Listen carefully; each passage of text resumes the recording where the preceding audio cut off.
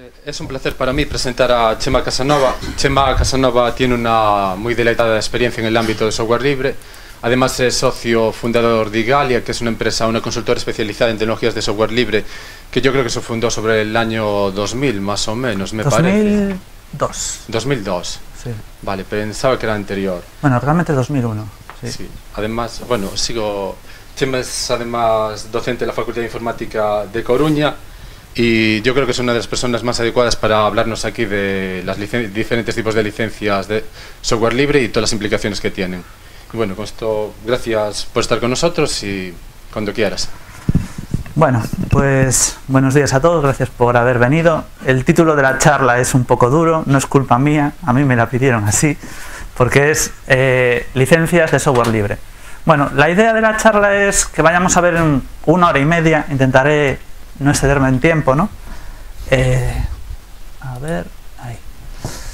En revisar los siguientes temas, ¿no? Vamos a ver un poco los fundamentos legales que hay detrás de todo esto que se llama propiedad intelectual y cómo afectan en el ámbito particular al, mundo del software. Luego vamos a tratar un poco qué es una licencia y cómo está relacionado con el software, porque hay licencias para música, para una, una representación teatral, para los derechos de televisión de un libro, ¿no? Ahí eh, todo se gestiona por licencias. Y luego vamos a centrarnos específicamente en conocer un poco qué es el universo de las licencias del, ámbito del software libre. ¿no? Vamos a centrarnos en el software, no vamos a entrar en los contenidos o las bases de datos que también tienen su propio mundo, incluso hasta los mapas. ¿no? Y luego vamos a ver que cuando tenemos que utilizar pues, distintas herramientas o distintos bloques para componer un programa, que cada uno eh, tenga una licencia, ¿cómo podemos hacer para juntar esas piezas? Porque cuando hacemos un programa de ordenador, al fin y al cabo estamos utilizando muchos tipos de bibliotecas que al final tenemos que distribuirlo y entonces bueno, tenemos que ver si cumplimos las licencias de, de, la, de, la, de las componentes. ¿no? Y luego pues vamos a hacer así un, así un, en cuatro pasos que es necesario para eh, poner licencia a un software, ¿no? Porque bueno, ¿cuántos de aquí sois desarrolladores de software o habéis desarrollado un programa de ordenador alguna vez? Solo uno, dos, tres, cuatro. Yo esperaba que aquí todo el mundo levantara la mano, ¿no? Aunque sean las prácticas de, de, la facultad o algo así. Vale. Entonces, bueno, eh, antes de nada, así un poco para ver cómo. Creo que se me escapó por la izquierda o por la derecha. Esto... Lo tienes, a la derecha, no por izquierda. Ah. Igual no se ve porque no está en pantalla completa. Sí, ahí está. Vale, estoy arriba. Y blanco. Vale. Entonces, ¿quién de aquí utiliza para desarrollo de proyectos o para vuestra tesis o para cualquier cosa herramientas de software libre? Bueno, todos, ¿no? Sí, hoy en día básicamente creo que cualquier desarrollo de software necesita utilizar herramientas libres, ¿no? ¿Quién utiliza dentro de su programa componentes que son software libre? Solo uno. Nadie aquí, bueno, utiliza alguna vez MySQL o utiliza jQuery. Bueno, estas cosas se utilizan, ¿no? Cada una tiene una licencia, no sé cuánta gente se la habrá leído. Vale, porque bueno, como todos sabéis, la licencia es eso que aparece mucho texto, normalmente en inglés, y luego al final dice, llega hasta abajo de todo y pulsa el botón aceptar, ¿no? Entonces, bueno, y luego la última parte, la pregunta es, ¿cuántos de aquí tienen un proyecto que sea software libre, que tenga una licencia libre, que lo haya desarrollado? Bueno, hay unos cuantos ya, ¿no? Entonces, tengo curiosidad, por ejemplo, eh, ¿qué proyecto es el que habéis desarrollado? Sí, tú. Sí, es una aplicación móvil de gestión de medicación para la gente que está en, en YouTube. ¿no? Y por ahí también una aplicación el siguiente, habéis desarrollado algo, ¿no? ¿no? ¿Quién más había levantado la mano? Sí, vosotros. Bueno, algoritmos de procesado de señales. ¿Y tiene licencia libre también? ¿En particular cuál? Una GPL3, una buena elección, a mi, a mi entender. Entonces, bueno, veo que aquí ya hay gente que se ha peleado con escoger una licencia. ¿no? La duda mía será es cómo hemos reflexionado a la hora de escoger esa licencia, si la hemos cogido por, bueno, hay un proyecto que es parecido y tiene esa misma licencia, o por ejemplo en el caso de la GPL3, mucha gente la utiliza porque estoy utilizando un componente que es GPL3, por lo tanto la licencia GPL3 me dice que utilizar eh, GPL3 como un, un, para una obra derivada. ¿no? Entonces, bueno, primera parte. Después de esta toma inicial de contexto, vamos a ver ¿Cuál es el marco normativo que tenemos? Esto es un latazo, ¿vale? Lo que he hecho es coger unos cuantos artículos de la ley, aleatorios casi, os los he puesto ahí y parecer que sé mucho de ley. Punto número uno, advertencia. No soy abogado, yo estudié ingeniería informática y esto de leer las leyes simplemente a veces es como un poco hobby, ¿no? Porque bueno, ya en la época universitaria me metí en estas cosas de, de representación de alumnos y escribir los estatutos de la universidad y todas esas cosas, uno a veces se pierde un poco en la ley y bueno, es algo que es divertido, ¿no? Pero bueno, al final es como las especificaciones de un programa y, te ayuda un poco a entenderlo. ¿no? Entonces, ¿cuál es la ley principal que nos afecta cuando hablamos de derechos de autor, propiedad intelectual? Pues la ley de propiedad intelectual, que es un refrito de, leyes que en el año 1996 lo juntaron todo bajo un paraguas en un decreto de simplemente vamos a hacer un texto donde esté todo. ¿no? Es una ley que fue aprobada en el decreto legislativo del 1 1996 y ha tenido modificaciones. Cada cierto tiempo hay una modificación de propiedad intelectual. La más reciente es del finales de 2015, que entró en vigor a principios del año pasado. ¿no? Que cambia cosas. La gente normalmente no se da cuenta de que los derechos que tenemos para eh, utilizar obras de otros pues van cambiando con el tiempo. Por ejemplo, la última vez cambiaron matices en la copia privada, ¿no? en cómo podemos utilizar eh, las obras de terceros sin ánimo de lucro y un amigo me pasa una canción. Entonces ahí hay ciertas limitaciones que van poniendo. ¿no? Entonces, ¿por qué nos afecta esta ley? Pues Básicamente eh, afecta a todas las creaciones originales literarias, artísticas, científicas, expresadas en cualquier medio, soporte, y entre los diversos puntos donde están pues la música, el teatro, la literatura, están los programas de ordenador, ¿vale? Que es el punto, el punto I. Entonces, bueno, la ley define dos tipos de derechos para los autores, ¿no? Unos son los derechos morales, que tienen una característica importante, es que son derechos que son irrenunciables inalienables, nadie nos los puede quitar. Si yo soy el autor de una, una obra, en este caso un programa de ordenador, tengo una serie de derechos. ¿no? Básicamente decidir si mi obra se va a divulgar o no, eh, si la divulgación se va a hacer poniendo mi nombre o un seudónimo o quiero que sea incluso una obra anónima. ¿no? Son derechos que podemos decir. ¿no?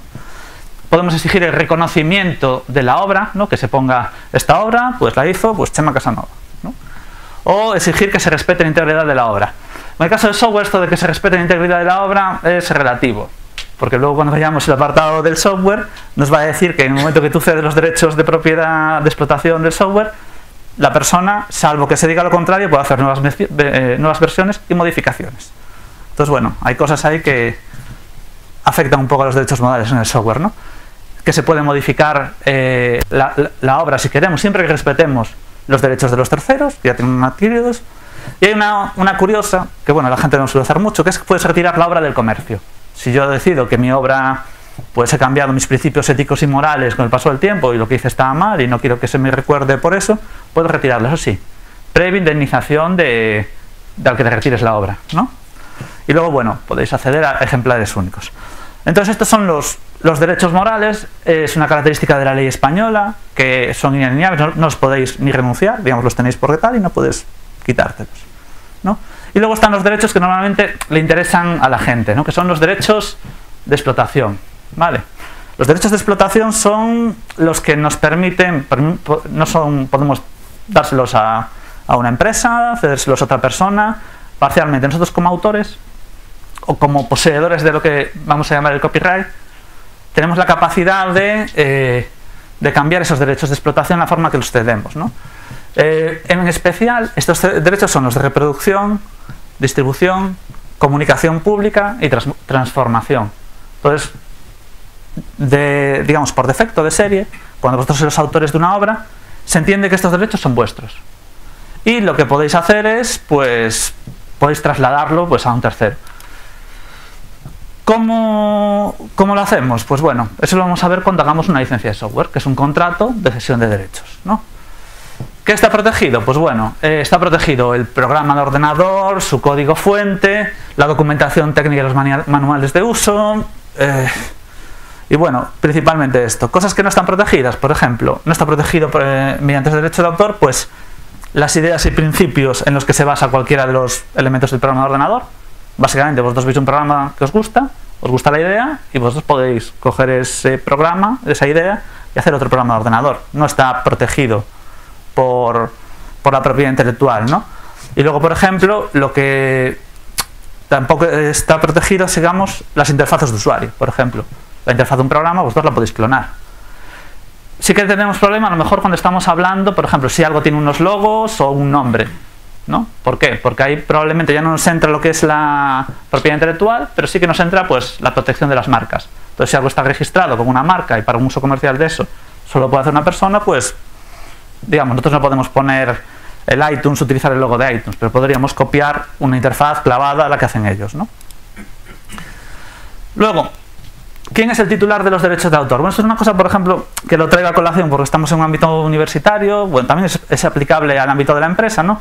Por defecto, el autor, el que hace el trabajo de crear la obra, es el que tiene los derechos de, propiedad intelectual, ¿no?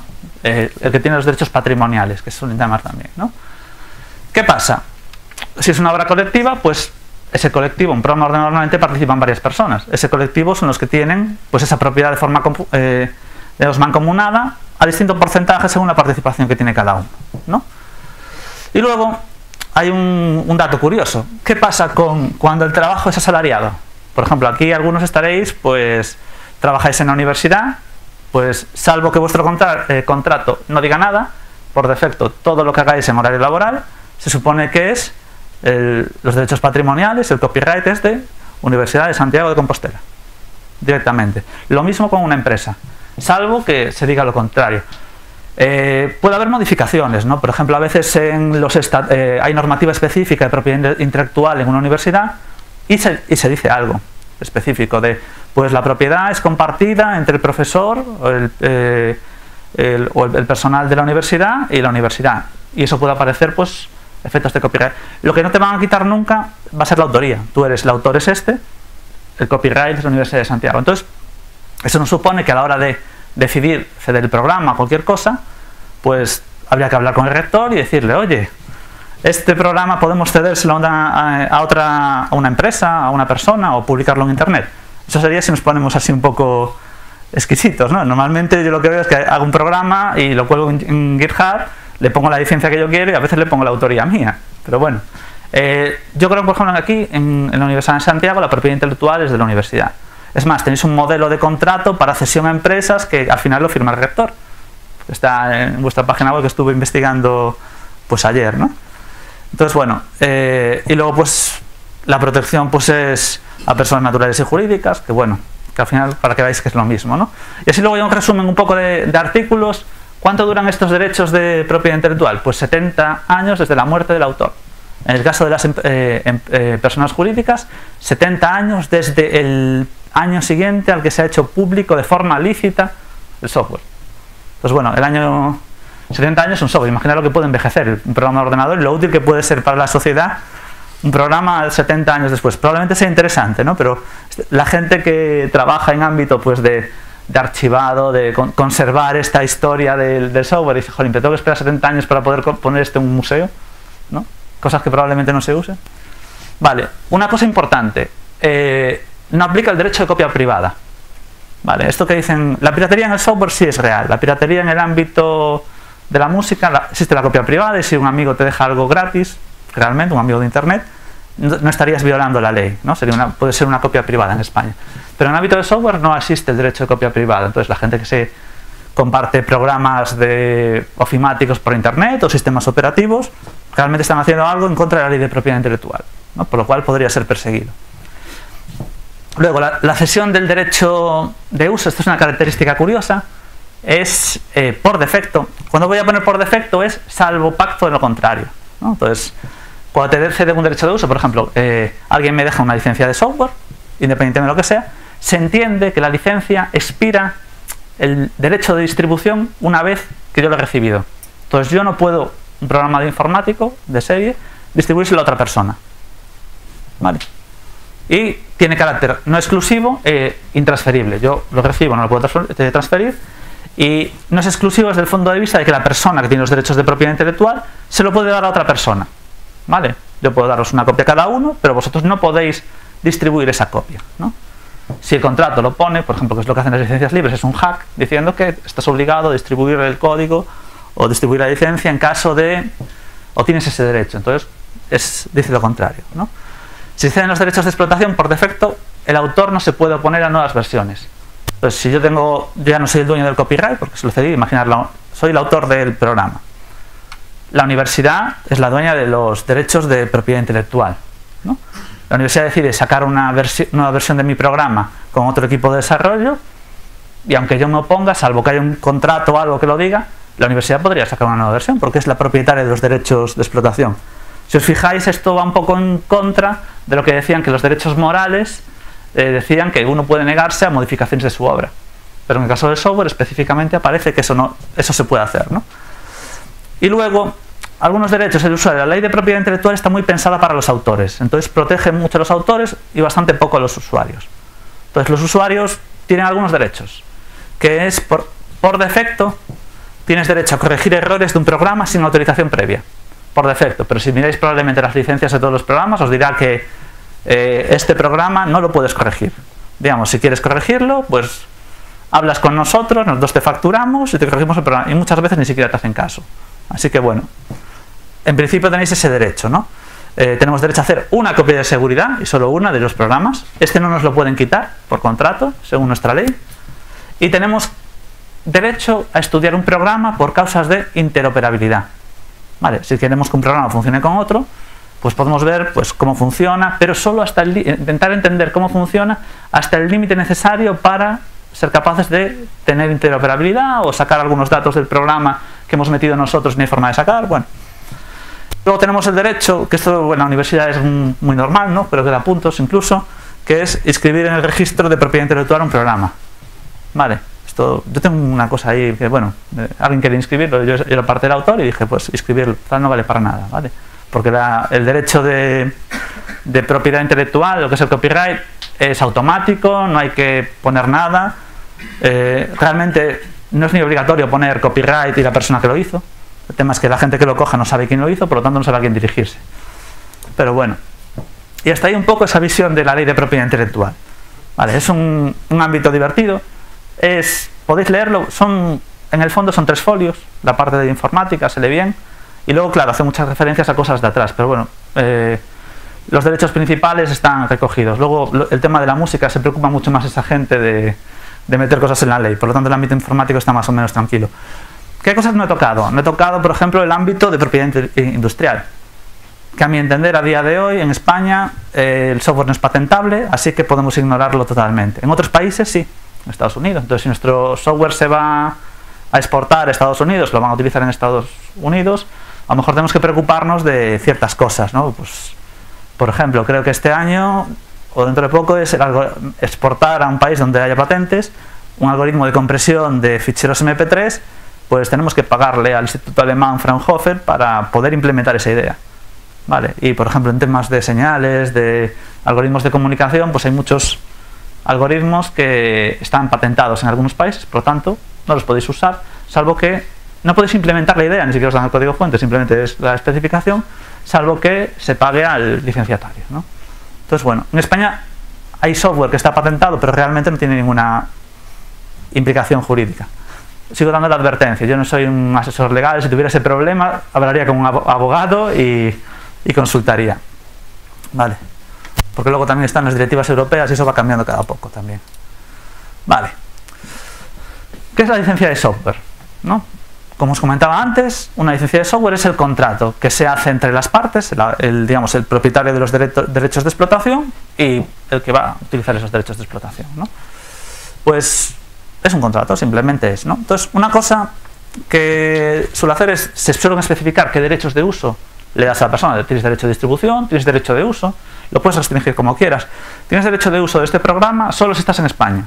O puedes usarlo en cualquier lugar del mundo, excepto en Irán, Irak y tres o cuatro países. Si lees las licencias es muy divertido a veces dónde puedes usar un programa o dónde no puedes usarlo. O este, este programa lo puedes utilizar en el, en el software en el que lo has descargado y lo has instalado.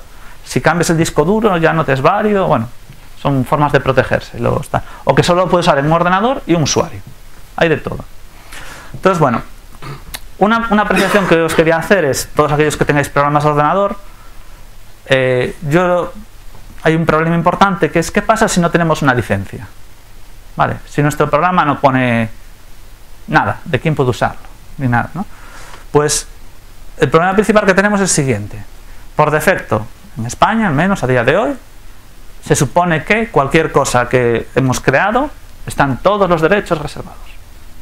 ¿Vale? Digamos, nadie en principio, salvo que la autorices, ni siquiera puedes obtener esa copia. Si el autor te la da, pues dices, bueno, al menos la puedo recibir. Usarla ya veremos.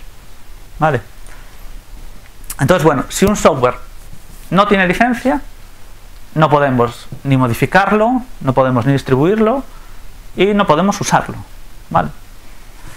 Habría que, en algunos casos, a lo mejor esto, esto es mentira, ¿vale? A lo mejor el software está desarrollado en cierto país y a lo mejor en ese país sí que puedes hacer ciertas cosas, ¿no? Entonces, la, legislación de propiedad intelectual es compleja. Pero bueno, creo que es desde la Convención de, de, Berna se entiende que por defecto el autor tiene los derechos a partir del momento que está. Entonces, bueno, al menos los derechos patrimoniales pertenecen a alguien, ¿no? Eh, entonces, bueno, cuando hacemos un proyecto de software y que nos vamos a encontrar, por ejemplo, a veces trozos de código en Internet o proyectos en GitHub que no tienen licencia y que no son útiles para nuestro proyecto, yo la recomendación, claro, porque me ha pasado a veces con algunos alumnos que cogen trozos ahí y le digo, pues, eh, si no tiene licencia no puedes usar. Si sabes quién es el autor, si la persona al menos ha tenido la licencia de poner un copyright, ¿no? ya es algo, entonces dirígete a él y pregúntale si lo puedes utilizar, es la forma más sencilla. Muchas veces la gente cuelga el código y dice, me da igual o te manda por email y simplemente úsalo para lo que quieras. Dices, bueno, ya tengo una licencia, el autor me ha dicho esto, lo tengo por escrito en un email. Bueno, ¿qué pasa? Que esa licencia, cuando se lo, si mi software se basa en eso, es a lo mejor comercialmente voy a tener alguna, los abogados dirán, mm, esto es un problema, ¿no? Vale, eh, hay casos donde pues sí que podemos utilizar software sin licencia. En España no, no existe en la, legislación esa figura, que es el concepto de dominio público. Vale, cuando yo en Estados Unidos digo que algo es dominio público, lo que estoy diciendo es que yo renuncio a mis derechos de, autor. Ahora pertenece a la humanidad. Aquí en España, si os fijabais, había unos derechos que irrenunciables e inalineables. Entonces, como hay los derechos morales, pues no se puede.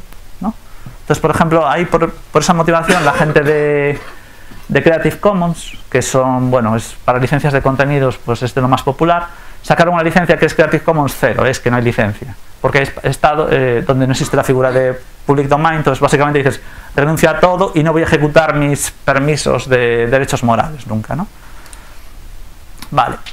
¿Cómo se plasma una licencia? Pues bueno, eh, bueno, una apreciación, os digo, es mejor que vuestro software tenga una licencia, sea, libre o privativa, lo que queráis porque al menos tienes una licencia y puedes, eh, la persona que quiere utilizarlos puede saber bajo qué condiciones lo puede utilizar. Si no, nos encontramos en, bueno, qué, software más chulo, pero a lo mejor no lo puedo utilizar. Si lo uso en casa y no se lo digo a nadie y nadie me ve, pues bueno, a lo mejor no tengo problemas. ¿no? Entonces, bueno, eh, la licencia, como os comentaba, son esos acuerdos legales que suelen venir en un lenguaje difícil de entender para seres humanos. ¿no? Eh, yo muchas veces son complicadas de leerlas, eso que siempre tengo la curiosidad, cuando es un software que me interesa, cojo y miro, leo la licencia más o menos por encima, a ver qué cosas raras tiene. ¿no? Ejemplo clásica, bueno, yo cojo la de, la de Windows 10, vamos a hacer la prueba, a ver si tenemos internet, funciona. Pero que necesito... Claro, porque me la, no, porque me la, me la, está, me la está poniendo en Ah, te la pone ahí. Sí, pero la movemos en un momentito, sí. Vale, ya lo dejo abierto, ahí.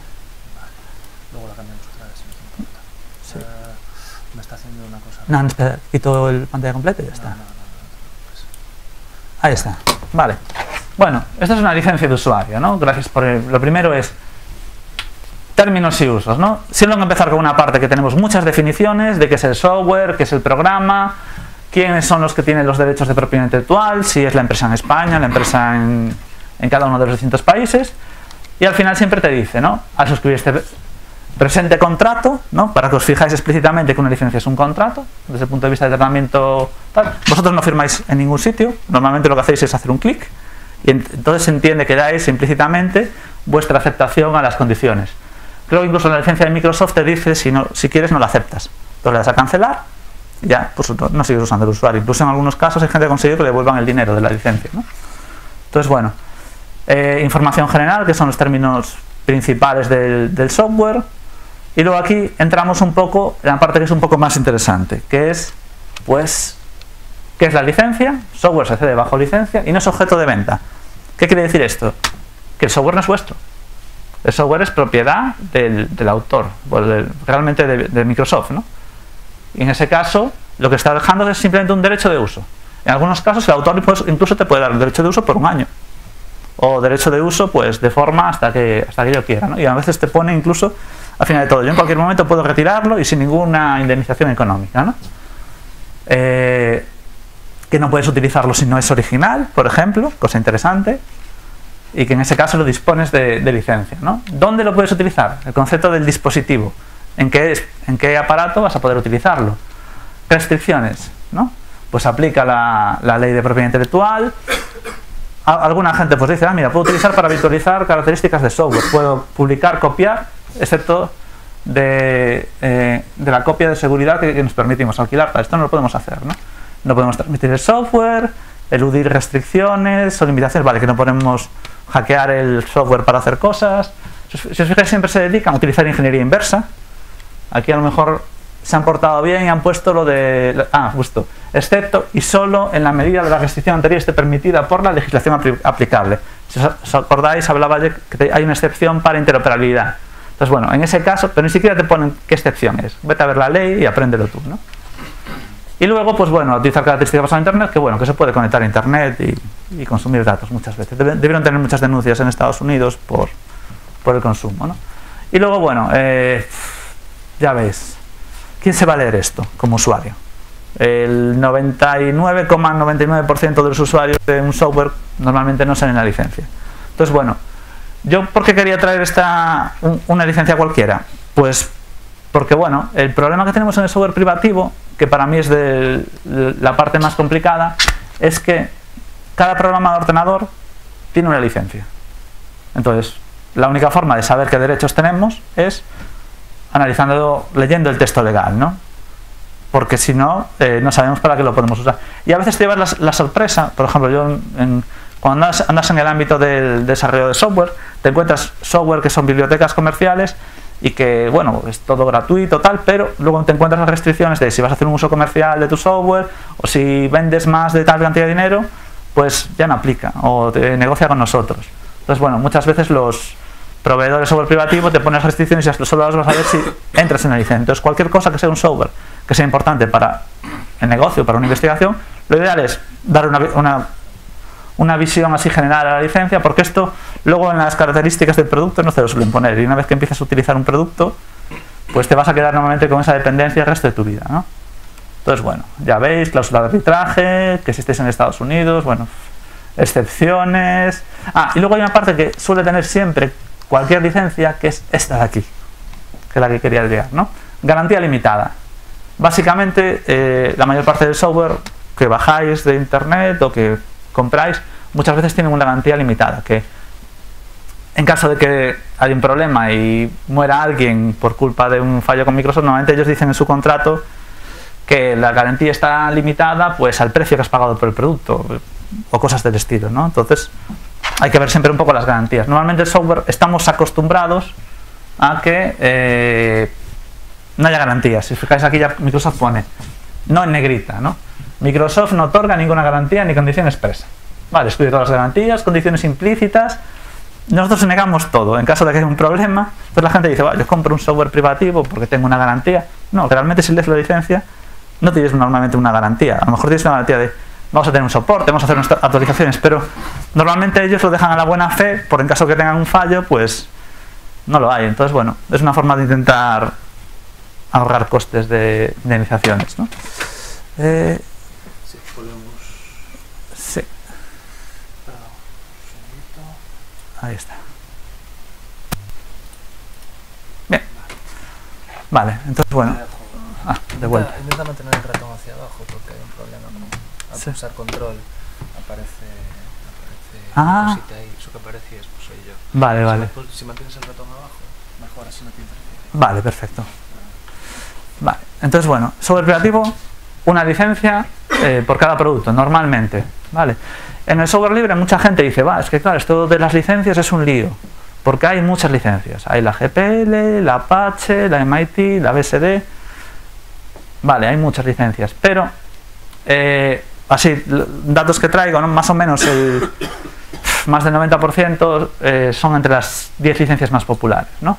Entonces, por ejemplo, estos son los datos de es una página que se llama Black Duck, que tiene pues, una base de datos de análisis de código de muchas aplicaciones. Cogen muchas forjas, cogen GitHub, repositorios de software en, todas las comunidades que, lo tienen en, open source o software libre. ¿no?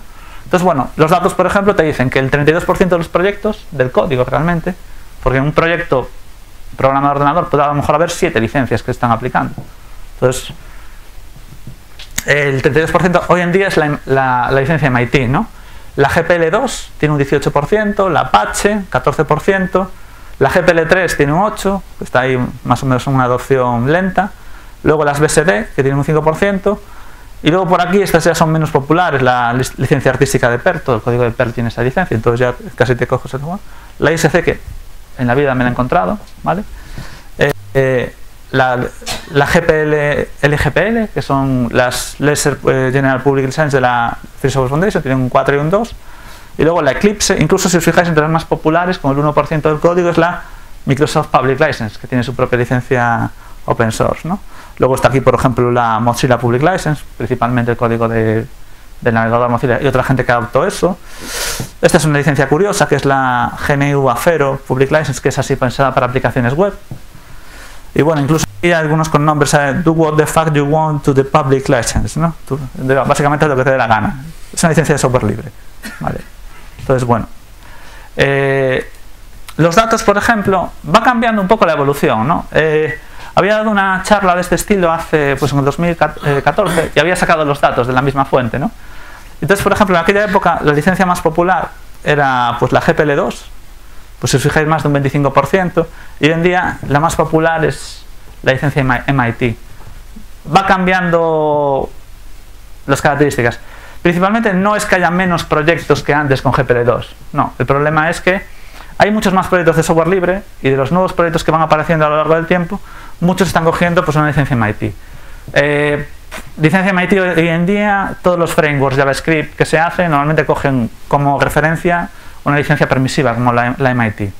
Entonces, bueno, es, la web es un hype en el open source, entonces casi todo el mundo coge eso porque, bueno, es una licencia que no hace falta entender mucho, es básicamente haz lo que quieras con el software, simplemente ponme la autoría y mantérmela ahí y te deja todos los derechos básicos del software libre. Y bueno, entonces eh, tiene bastante popularidad entre la comunidad open source, en desarrollo web y bueno, es de las más populares. Si os fijáis es al lado del sorpaso en este momento, ¿no? Y luego pues la Apache también es otra muy popular. Todos los proyectos del mundo Java, pues casi todos utilizan una licencia Apache. Una licencia permisiva, cómoda y tiene la ventaja que aquellos que están preocupados con las patentes, pues tienen una exclusión de patentes. Entonces, bueno. Entonces, bueno, vamos entonces a adentrarnos un poco en el mundo de las licencias libres.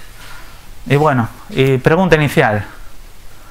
¿Alguien me puede responder qué es necesario para que un programa de ordenador sea libre? Con solo una cosa. Nadie se atreve. Oigan, algunos tenéis proyectos de software libre, entonces ¿sabes? No, no, es una respuesta muy tonta eh, la que tengo. A ver, otra idea por ahí. Que prima la libertad del software frente a la del propio software frente a la del usuario. De, hacer con lo que le dé la gana. Te acercas, es un fundamento del software libre también, pero la respuesta es muy sencilla. Para que un software sea libre, ¿qué tenemos que tener? Pues. No, eso no es obligatorio ni siquiera. Hay software libre que no entrega el código. El que haces tú solo en casa, lo guardas ahí y le pones una licencia libre, sigue siendo software libre. ¿No? por ejemplo, una, cosa que la gente se piensa es que, por ejemplo, por tener una licencia libre tú estás obligado a entregar el código. Entonces, no, estás obligado a, distribuir el código si solo si distribuyes el programa. Pero es un derecho que tienes el de distribuir. ¿Puedo distribuir o no? Vale. Entonces, aquí la, respuesta es muy sencilla. Un programa es, libre si tiene una licencia libre. Así de tonto. Vale. Si no tiene licencia ya no es libre. Vale y lo que va a marcar para que podamos identificar, yo si me dicen, oye, mira, tal, tal empresa o tal grupo de investigación publicó un software libre, lo primero que voy allí es, cojo, voy, primero a ver si encuentro el código fuente, si veo el repositorio, miro, a ver, ¿tiene licencia? Vale, es una licencia libre. Identifico que es una licencia libre y digo, va, pues sí, lo han hecho bien. Luego ya me puedo poner un poco mojigato y decir, pues mira, no tiene las cabeceras de los ficheros, o está mal de copyright, o tiene licencias incompatibles, por lo tanto no lo puede distribuir. Pero bueno, la parte principal es de lo que te sueles fiar es de, que tenga una licencia libre. ¿no?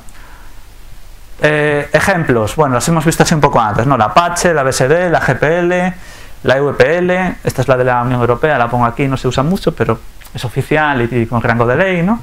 La Mozilla Public License, la EPL que es la de la Fundación Eclipse, que si usáis Eclipse la, utilizáis, y la MIT que es, pues bueno, es ahí la más popular hoy en día, podemos decirlo, ¿no? Entonces, bueno, ¿qué, es, qué necesitamos para que eh, una licencia sea libre? Pues bueno, que cumpla pues, con las cuatro libertades que, que define la Free Software Foundation para, para el software, ¿vale? Para que se considere libre. No, libertad número cero, como dice Richard Stallman, que es la ejecutar el programa con cualquier propósito. Vale, que no te pueden poner ninguna limitación en los casos de que no puedas usar el programa. Normalmente suele, tener una salvaguarda de, excepto cuando la legislación vigente en el país no te lo permita. Pero bueno, en principio es cualquier uso.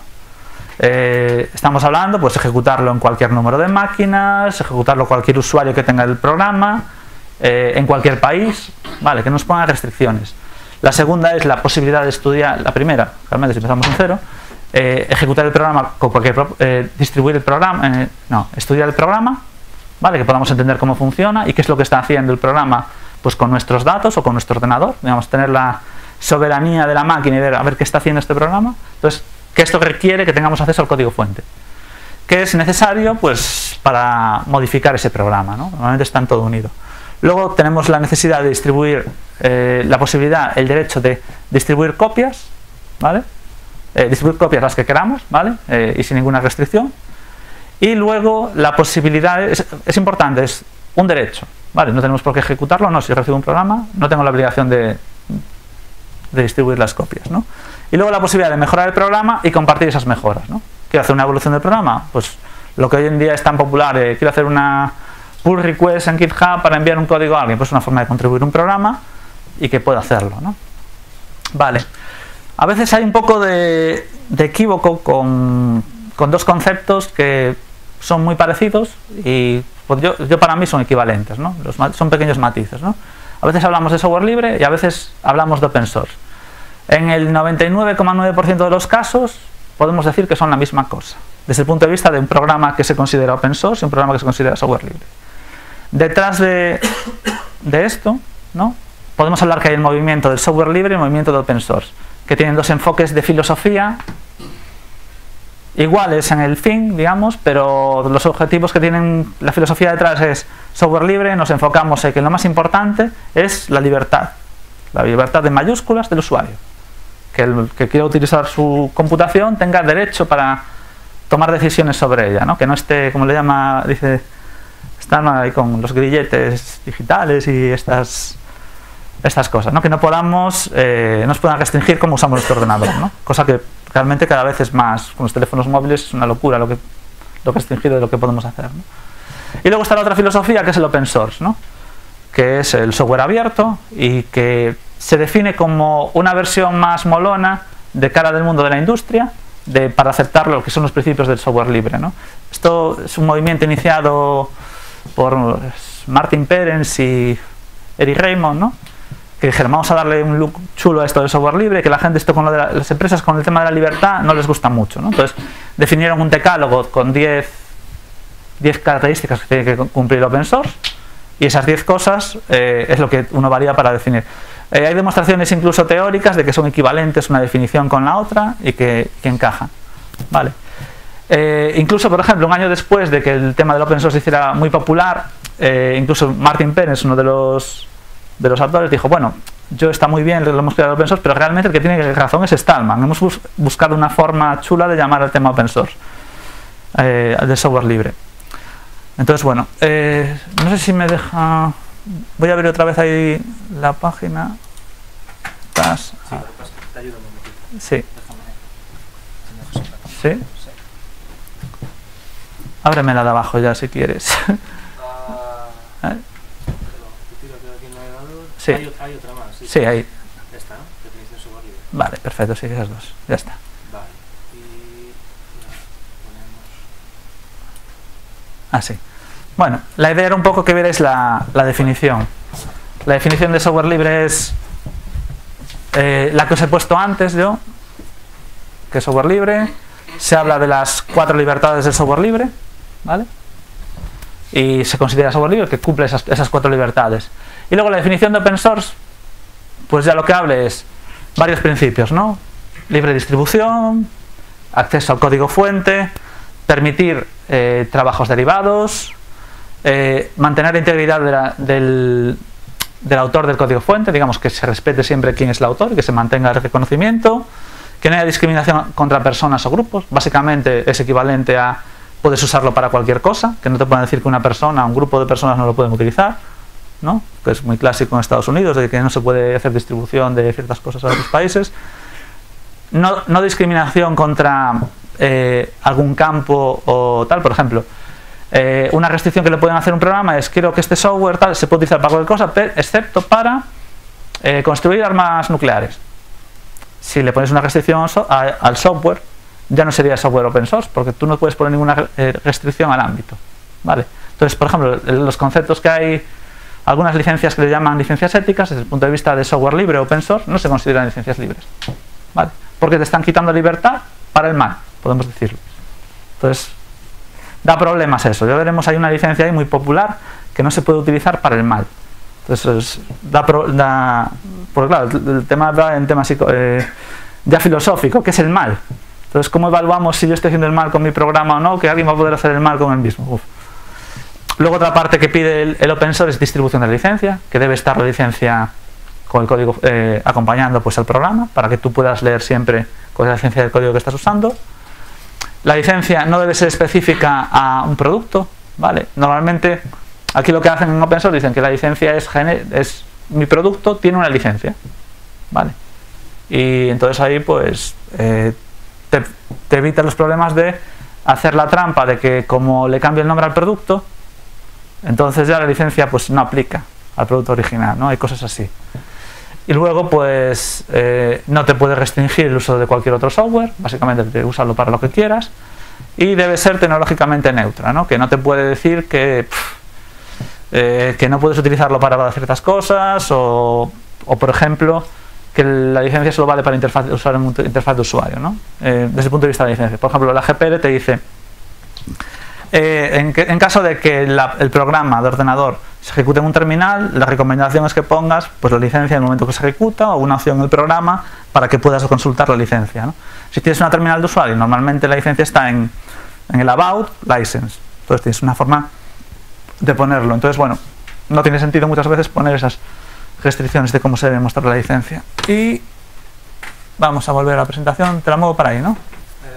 Ue- ¿De qué? Ah, sí, mismo.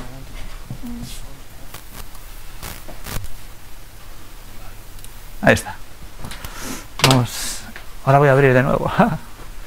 espera, espera. ¿Estás? Ah, no, entonces no hace falta moverla para allí. Ah, vale. Pensaba que. Es solamente, si vas a abrir licencias ahora, Sí, ahora voy a sacar la lista de licencias. muy bien. Vale. Nada, pues puedes dejarla por ahí. Antes veis las, licencias más populares, ¿no? Que eran unas 10 más o menos.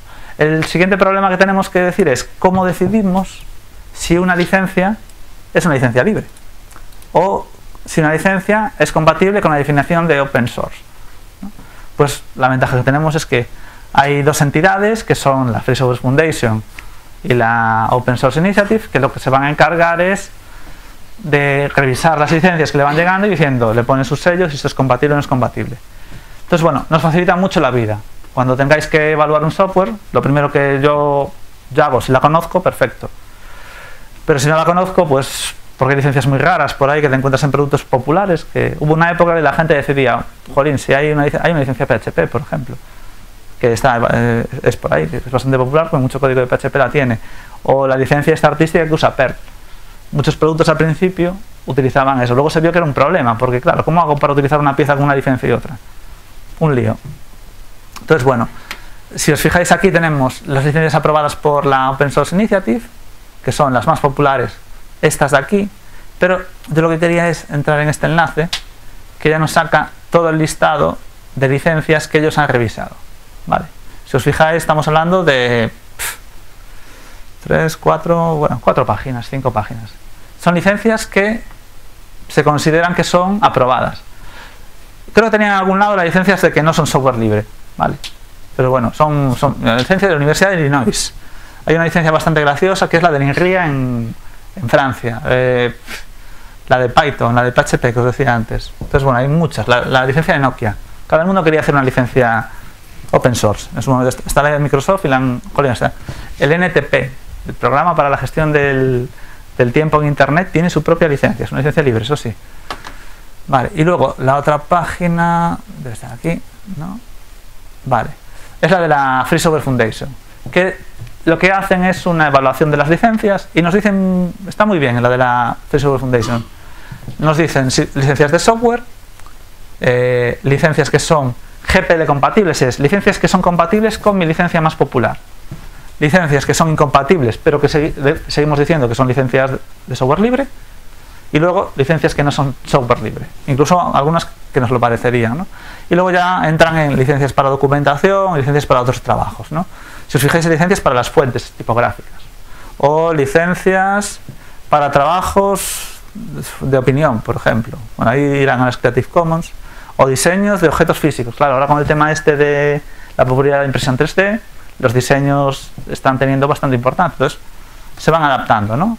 Entonces, eh, lo vamos a ver luego, pero es muy importante la, reflexión que hacen entre licencias, la Free Software Foundation, sobre qué licencias son GPL compatibles. Son licencias GPL compatibles.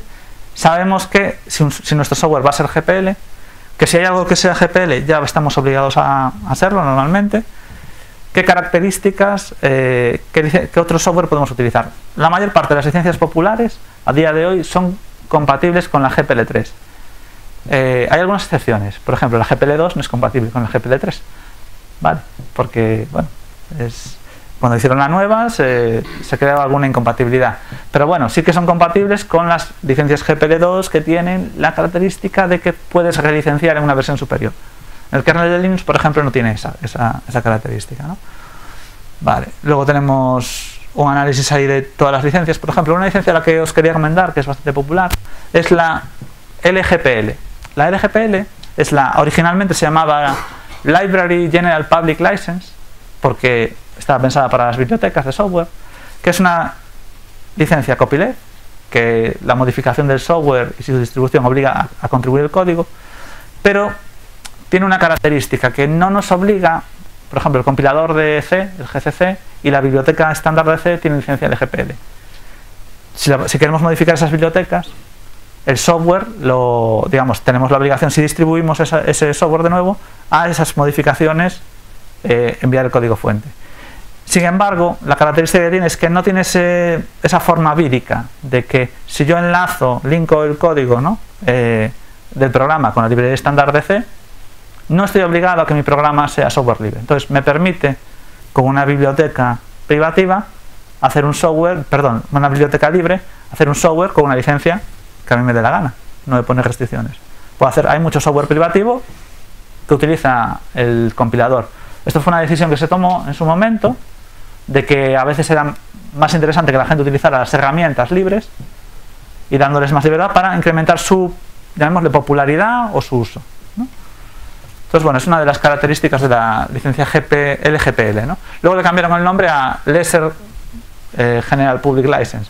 ¿Por qué? Porque identificaron que la gente, si creaba una biblioteca, le ponía esta licencia eh, LGPL siempre, que es muy permisiva, te permite realmente hacer sobre privativo. No, entonces yo si quiero hacer una biblioteca y quiero que la gente que la utilice haga software libre, pues le pongo la GPL. Entonces le cambiaron el nombre.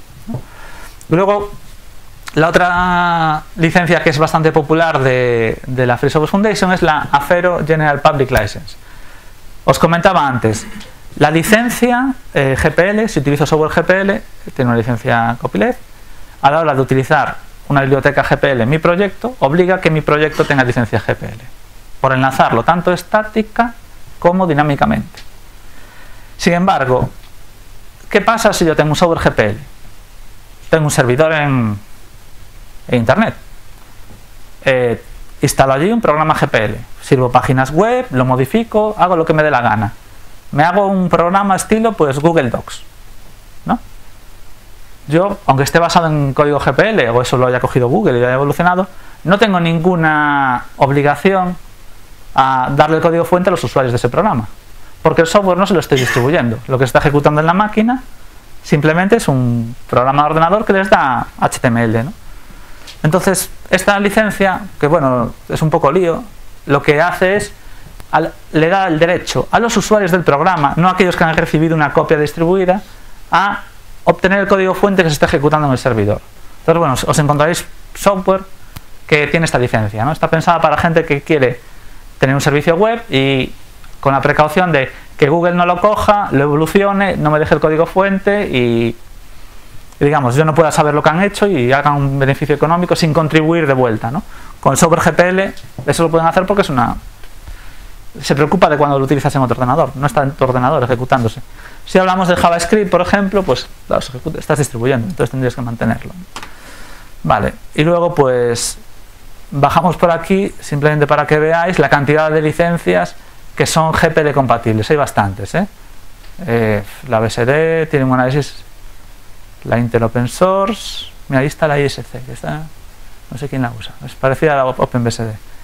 Y luego vamos a llegar a licencias no compatibles, está más abajo, ¿no? Vale. Fijaros esta gente la cantidad de licencias que ha evaluado ya, ¿no? Esas son las compatibles y luego licencias incompatibles. Por ejemplo, la Cero, pues la del BitTorrent, la del BSD, la de Common Public Attributions. Hay bastantes licencias. La Eclipse, por ejemplo, el software de Eclipse no se puede utilizar. Eh, ¿Alguien de aquí ha utilizado, por ejemplo, JUnit? Sí. Bueno, por ejemplo, la licencia JUnit es un caso curioso de incompatibilidad.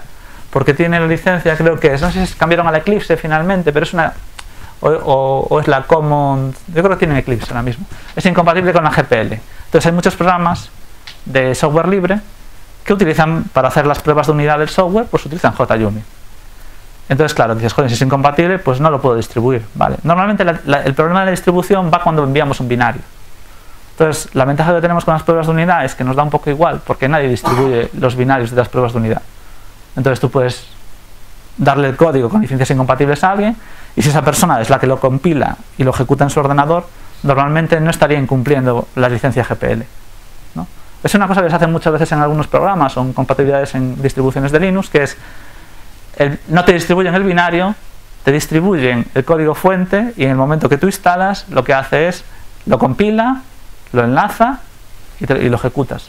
Porque no hay ninguna restricción a, eh, la hora de compartir el código fuente entre licencias incompatibles siempre cuando sea tu sistema al menos en el caso de la GPL. No podrías mandar un binario a nadie, por eso hay muchos programas que, del kernel que se compilan ahí en, en caliente. Por ejemplo, hay uno famoso que es un sistema de archivos que es el ZFS, que es un sistema de archivos súper chulo que desarrolló Sam, creo que Sam Microsystem originalmente y luego ahora lo tiene Oracle. Entonces, claro, si quieres tener soporte, necesitas al menos tener un ordenador que arranque para compilarlo y, y que funcione. Bueno, te mando eso para allá. ¿No vas a poner más eh, más tarde, yo creo. Sí. Vale. Bueno, licencias de software libre, ya estamos en este universo solo, ¿no? Las dos características que tenemos que tener en cuenta a la hora de desarrollar serían pues dos conceptos, el concepto de licencias copyleft y el concepto de licencias permisivas. Licencias copyleft son un poco las que propugna eh, la Free Software Foundation, que con el software que es copyleft, la gente siga creando software que siga siendo copyleft. Son licencias que suelen ser vídicas. Y entonces, si tú modificas el programa y lo distribuyes, tienes la obligación de mantener la misma licencia. Eh, es el caso para las licencias que os acabo de comentar, ¿no? La LGPL, la, la GPL, la, GPL normal, cualquiera de estas tienen esa restricción. Hay distintos niveles, ¿no? Una vemos la LGPL es si yo modifico la, la, biblioteca o el programa que tiene LGPL, debo compartir eh, digamos, el código fuente cuando lo distribuya. Con la LGPL es más vírico, que es, si yo utilizo una biblioteca que sea GPL, mi programa, la licencia global del conjunto, tiene que ser GPL. Y luego con la GPL ya no es el programa, no. si el usuario lo utiliza eh, a través de Internet, el, software, tiene derecho a tener el código fuente. Y luego las, licencias restrictivas cumplen todas las propiedades del código fuente, de, perdón, de, las licencias libres, ¿no? Imponen restrictivos eh, requisitos mínimos. Normalmente lo, lo, único que se pide con una licencia es eh, que mantengas la autoría muchas veces y normalmente va la cláusula de, de garantía nada. ¿vale? Aquí no tenemos ninguna garantía para, para, el software. Y son las principales cosas que, que tenemos en, en licencias. ¿no? Van de más copyleft, ¿no? que serían la GPL, la versión 2 y 3, ¿no? la LGPL, que es la licencia así que es copyleft entre los programas sin, enla sin enlazar, la Mozilla, que es así bastante suave, pero sigue siendo una licencia copyleft, y luego ya como permisivas, las más populares, Apache, MIT o, o BSD. Podemos asociar un poco las licencias permisivas al movimiento open source y las licencias eh, copyleft al movimiento del software libre. Normalmente las licencias permisivas lo que permiten es que se haga software privativo. Las copyleft te obligan a hacer software libre. Entonces, bueno, es un poco los dos universos. Tra he traído varios ejemplos ¿no? de, de licencias. No sé cómo vamos de tiempo. Ah, una hora. Vamos ahí bien. Entonces, bueno, la licencia MIT eh, es una licencia muy sencilla. Te voy a robar el... Eh, sí, te ayudo. Sí.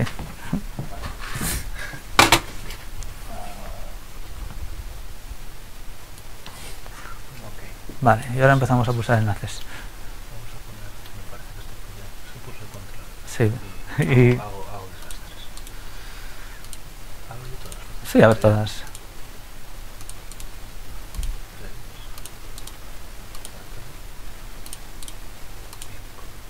Vale. He, he, traído varios proyectos, licencias ahí, no. Bueno, la primera es la licencia MIT. Como es la popular, vamos, va a ser la que vamos a ver así por encima, ¿no? El, el, permiso está, es un permiso gratuito, cualquier persona que tenga una copia de este programa y la documentación accesible, si os fijáis, como veíamos en la, en la ley, pues hace referencia a esto. Ten, ten, en cuenta que casi todas las licencias vienen de un ámbito de aplicación anglosajón en Estados Unidos.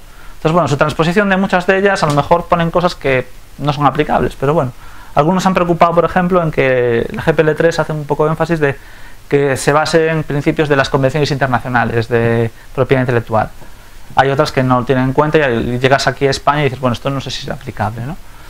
Pero bueno, eh, puedes utilizar el software sin restricciones, lo puedes usar, copiar, modificar, mezclar, pub eh, publicar, distribuir, sublicenciar, puedes digamos, dar otra licencia a una obra, ¿no? vender copias del software, eh, permitir a las personas del que uf, de todo. ¿no? Y las condiciones es que el, el copyright siempre debe estar manten mantenerlo, digamos quién es el, el, propietario del copyright, y luego siempre la, eh, la cláusula de que no hay ninguna garantía. ¿vale? que en caso que haya algún problema, pues que tú das este software de forma que si pasa algo, pues no puedes acusar a la denunciar a la gente que ha creado el software, ¿vale? Esta licencia MIT es muy sencilla, podemos hacer casi de todo, ¿vale? Nos cede prácticamente todos los derechos, ¿vale? La GPL, la versión 3, es una licencia un poco más densa, ¿vale? Explica los principios que busca la GPL, la filosofía del, software libre, define explícitamente qué significa cada uno de los términos, el trabajo cubierto, define por ejemplo qué es una obra derivada, eh, qué es el código fuente, qué son las interfaces, las librerías. Si os fijáis, antes comentaba, bueno, si hago un enlazado un, eh, estático, dinámico, claro, esos términos en informática eh, son importantes para la GPL porque la LGPL, si enlazo dinámicamente, no aplica el copyleft. Si en la GPL enlazo dinámicamente, sí, sí aplica. Entonces, tiene todo muy, muy hecho. Estuvieron varios, varios años definiendo la nueva versión. Eh, una de las cosas que hicieron en la GPL3 es intentaron solucionar algunos problemas que habían encontrado con, con, la versión 2, ¿no? que iban en contra de la libertad del software. Algunos de los problemas eran, por ejemplo, el tema de eh, el problema de la tibolización. Había, es lo que hacía una empresa que se llama Tivo, que era como te ponían un top box para que te permitía en casa grabar la televisión para verlo luego más tarde. ¿no? Ellos utilizaban un kernel de Linux para funcionar. El tema es que ese kernel de Linux lo habían modificado. Y ellos compartían, eh, como te enviaban una copia del... tenían una copia disponible del código fuente modificado. ¿Qué pasa? Que tú era imposible que tú modificaras el software del tipo, de una modificación del kernel, y que funcionara en el aparato. Porque lo que hacían era que solo funcionaban kernels que estuvieran firmados ¿no? por ellos. Entonces tenían una restricción que entonces decía, bueno, yo puedo, tengo derecho a modificar el código, pero nunca tengo derecho a poder utilizar ese código en esa máquina. Entonces ellos se protegieron de eso. También metieron protecciones en la versión 3 con tema de patentes, de que tú, pues si haces software licenciado, utilizas software licenciado como GPL3, eh, pues bueno, básicamente si tienes alguna patente, pues la cedes para que no, te, no, puedan denunciarte. Y otra de las cosas que habían cambiado, que también era curiosa, ah, era, creo que era lo de la terminación de la licencia. Tú el momento que, como un contrato, la GPL2 lo que decía era lo siguiente, si tú violas la licencia, a partir de ese momento pierdes todo el derecho de uso que tenías para la licencia. Entonces imagínate, yo soy una gran corporación, estoy utilizando un software como, imaginaos, el intérprete de comandos Bash en mis, productos. Lo he modificado, no he compartido el software, ah, eh, he incumplido la licencia. Entonces se terminaba. Entonces a partir de ese momento estaba incumpliendo la ley utilizando un software. Entonces creo que en la GPL3 metieron modificaciones para que si tú incumples la licencia y lo solucionas en un plazo razonable, vuelves a recuperar esos derechos. Si no, claro, eh, como ya tenías la licencia anulada, no había una forma de, salvo que el autor te volviera a dar una licencia específicamente a ti, no podías, no tenías una forma, no es me lo bajo de nuevo y tengo los derechos, ¿no? Porque el anterior contrato decía que se rompía totalmente. Tengo dudas si había incluso que perdías el derecho a todo, usar cualquier software que tuviera licencia GPL. Pero eso, eso no sé si fuera una exageración que había en una charla del tema legal. Vale. Otra licencia, sí. Esta es una licencia que no es libre. ¿vale? Que es, este software está licenciado bajo la licencia Anyone But Richard Stallman, ¿vale? Que es un software que es una licencia, haz lo que quieras con el software, excepto en el caso de que tú seas Richard Stallman y, bueno, pues que no lo puedes usar porque tengo manía. Es una persona que hizo esto. Creo que es la única, el único, es un, algún tema de, de ensamblador. Tío, pues bueno, esto salió en Reddit hace años y bueno, es una forma de hacer una licencia, puedes hacer, esto es mejor que no tener licencia incluso. Pero no es una licencia libre porque está poniendo limitaciones a quién puede utilizarlo. Ya el tío lo dice, bueno, malo será que Richard Stallman necesite utilizar esto porque software como este creo que hay 10.000 opciones distintas. ¿no? Esta es una licencia también curiosa, la licencia de JSON. Suena el formato este, ¿no? Pues uno de los primeros parsers se hizo, obviamente, la gente, 2002. Aquella época estaba todavía, era molón tener tu propia, tu propia licencia una licencia chula, se parece un poco a la MIT, de que puedes utilizar las restricciones, limitaciones, pues está clavado el MIT, ¿no? El copyright debe ser incluido en todas las copias, y esta es la frase que tienen buena. No sé si se ve bien, pero el software debe ser usado para el bien y no para el mal. Poner esto en la licencia, después de análisis de mucha gente, eh, la gente en Debian decidió que esto no es una licencia libre, por ejemplo, por tanto no pueden tener el, esta biblioteca de JSON. Hoy en día hay muchas, así que tampoco es un problema. ¿no? Pero hay muchos, muchos software que a lo mejor depende de esta, hecha hace muchos años y que depende de esta API en particular. Entonces, bueno, tuvieron que, claro, y el, autor no quiere cambiarla, creo. Entonces, bueno, es una de esas licencias complicadas. El tema, claro, te metes en temas religiosos para entender qué es el bien y el mal. Entonces, bueno, había, había una página web, también otro caso, era el Typo 3, eh, lo hacía un, es, es, un software gestor de contenidos, ¿no? que creo que está, no sé qué licencia tiene, es una licencia libre, ¿no? pero en la página web te indicaba que no podías, es un gestor de contenidos y te ponía la página web, descárgalo y eso, pero no lo puedes utilizar para eh, hacer portales donde que vaya en contra la palabra de, Dios. ¿no? Entonces era una persona católica y dijo, no quiero que este gestor de contenidos lo sepa. Pero no está en la licencia. Entonces realmente lo que afecta desde el punto de vista del software es lo que está en la licencia. Entonces el software es un software que es totalmente libre, solo que el autor pone eso en la, en la portada, ¿no? Digamos, es recomendable. Hay gente que pone, como si veis el VI, creo, el BIM, te pone, hay un mensaje que al arrancar te indica que es bueno que dones a unos niños de una escuela de Ruanda y para colaborar con ellos. Claro, no es obligatorio hacerlo, simplemente son opciones, luego el software tiene una licencia libre. Y a ver, otra más. Esta, esta es una divertida que me encontré una vez en, un proyecto. Eh, ¿Alguna vez alguien aquí programó en Java contra un gestor de bases de datos llamado MySQL? ¿No? Sí. Bueno, vale, el conector de la base de datos de MySQL, que esto era original de Sun y ahora es de Oracle, ¿no? Una de las características que tiene es que tiene una licencia GPL2. ¿no? Yo no sé cuántas aplicaciones empresariales habrá por ahí que las empresas distribuyen y tienen usan base de datos MySQL. ¿no? Pero el conector tiene licencia GPL2, lo que implica que, por ejemplo, si yo tengo un software que sea privativo, salvo que le ponga una licencia GPL2, por lo cual dejaría de ser privativo, no puedo utilizarlo. ¿no? Pero claro, la GPL también es muy incompatible a veces con proyectos y muchas veces estos proyectos Java tienen una licencia, pues por ejemplo, una licencia Apache. La licencia Apache y la GPL no son compatibles, son solo compatibles en un sentido. Entonces ahí, hay varios problemas. ¿no? Pero bueno, si uno se va a leer la letra pequeña de... Por eso os digo, a veces una, cosa es que la licencia ponga una cosa, pero a veces hay... El texto, si utilizas la licencia GPL, te deja opciones a hacer excepciones. Y hay gente que esas excepciones las utiliza. ¿no? Entonces, por ejemplo, unas excepciones que te permite la GPL, que la tienen estos aquí abajo de todo, Estoy aquí, esta es la GPL estándar, ¿eh? nadie la puede modificar, es lo bueno. La GPL está eso y en las cabeceras pueden poner un par de facetos. ¿no? Entonces esto tiene MySQL Flows License Exception. Que básicamente, si tu software es, no te obligan a cambiar la licencia de tu software si tu software es software libre.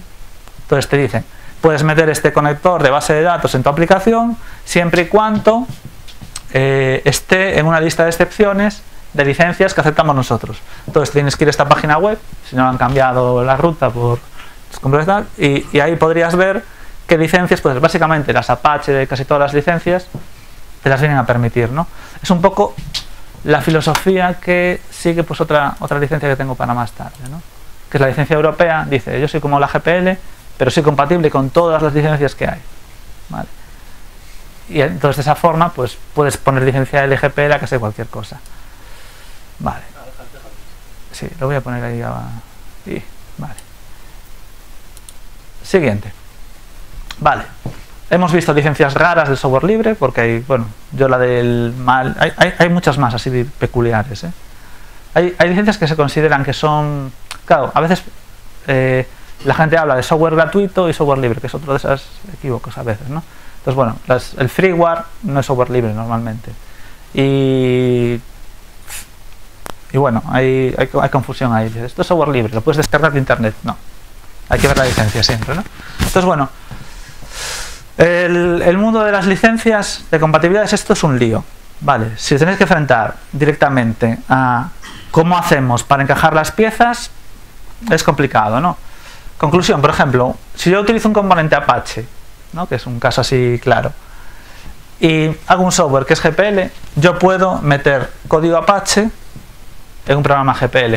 Pero sin embargo, si yo tengo un programa Apache y quiero utilizar código GPL, a la inversa no es posible. ¿no? Y esto en la GPL3. Si tienes un programa que es GPL2, por ejemplo, yo no puedo coger código Apache porque no son compatibles las licencias. Uno de los motivos de crear la licencia GPL3 era hacerlo compatible con otras licencias por motivos. Entonces, bueno, es una parte bastante divertida. ¿no? Hay este gráfico que más o menos os, os traslada así de forma visual qué puedo usar para cada cosa, ¿no? Entonces, digamos, vamos a ese dominio público que es no hay licencia, ¿vale? Hay licencia porque no aplica, por, la, por decisión del autor normalmente, o porque han pasado, pues en España pasaban 70 años de la muerte del que escribió el programa, que todavía no, no ha pasado nunca. No, no, no, no, no sé, 70 años, estamos hablando de un programa hecho en los 40, ¿no? Más o menos.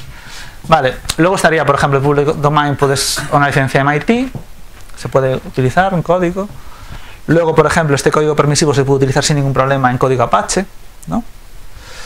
Luego, dentro de código Apache, se podría, por ejemplo, es una, que no está en este gráfico, ¿no? que es, por ejemplo, yo podría utilizar una licencia, una dependencia LGPL en, en código Apache.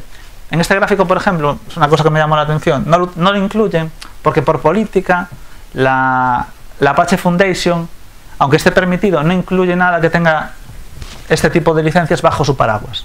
Tiene algunas, tú lo puedes hacer, pero no es una, no es una recomendación de ellos. ¿no? Y luego, si os fijáis ya, es solo el universo de las licencias de la Free Software Foundation y es un lío de cómo son compatibles. Pero bueno, en el fondo es, yo puedo utilizar en el software LGPL, lo puedo utilizar en el, en el GPL sin ningún problema. El GPL v21 punto más. Cuando pone esto de más, ¿no?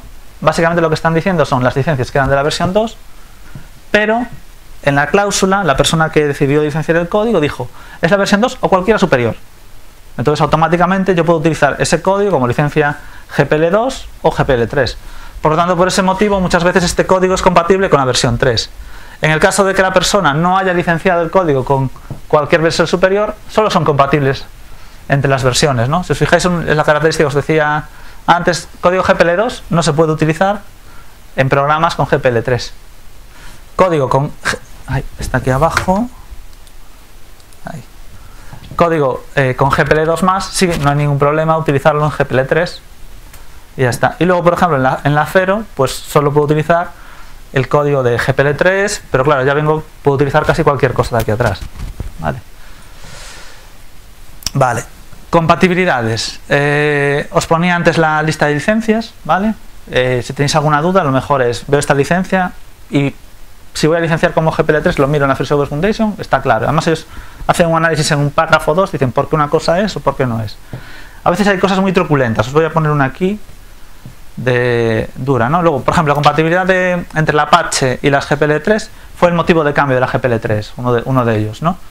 Entonces la, Apache Foundation, pues bueno, eh, también sacó la versión 2 de su licencia para eh, permitir que ese conjunto de software eh, libre y con mucha calidad del todo, pues al menos se pudieran mezclar en un sentido. ¿no? Esa, esa, transitividad es lo que decía, software Apache se puede utilizar en software GPL. ¿vale? Sin embargo, al revés, no. Vale, Apache es una permisiva, entonces claro, el momento que le metes GPL, obligas a que eso se tenga que compartir con el código fuente. La Apache no te obliga a compartir el código fuente nunca. Vale, y luego, este es el caso más así gracioso, ¿no? Que es la compatibilidad de EUPL, que es la European Union Public License, ¿no? Y la GPL3, ¿no? Eh, la EUPL es una licencia bastante popular en el ámbito de la administración pública, sobre todo porque la ley, la ley de servicios de, acceso al, ciudadano eh, de la administración electrónica habla que las eh, administraciones públicas deben promover pues el uso de la, colaboración y distribuir el software con una licencia con un concepto que ellos llaman de fuentes abiertas pero si vas a leer el concepto de fuentes abiertas son las cuatro libertades de software libre vale cogieron la definición de software libre y le pusieron el nombre de fuentes abiertas en la ley entonces bueno es un, equívoco curioso ¿no? me acuerdo explicábamos una vez a Stallman que la ley obligaba a esto pero era un problema de traducción ¿no? Porque bueno. Y entonces la, EUPL, eh, la, normativa española, por ejemplo, recomienda que las administraciones eh, publiquen su código bajo una licencia de fuentes abiertas y en particular recomienda utilizar la, licencia europea. ¿Por qué? Porque está adaptada al marco normativo europeo.